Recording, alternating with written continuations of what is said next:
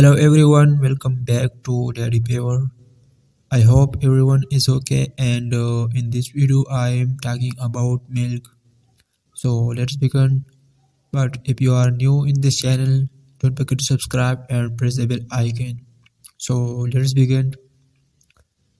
Milk is an excellent source of vitamin and mineral, particularly calcium.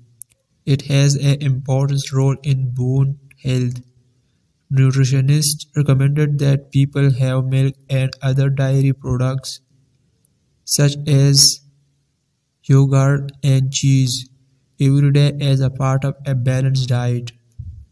The Australian Dietary Guidelines recommended that people over the age of 2 years have mostly reduced fat products to lower the amount of energy while still getting all of the other nutritional benefits from dairy foods. Nutrition in milk.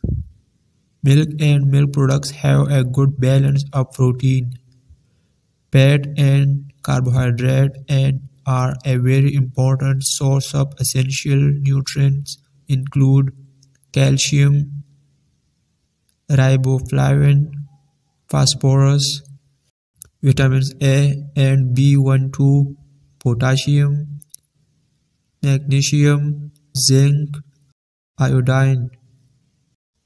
Milk products also have high quality proteins that are well suited to human needs. For example, having milk or yogurt with cereal can provide amino acid that may be lacking in the cereal products.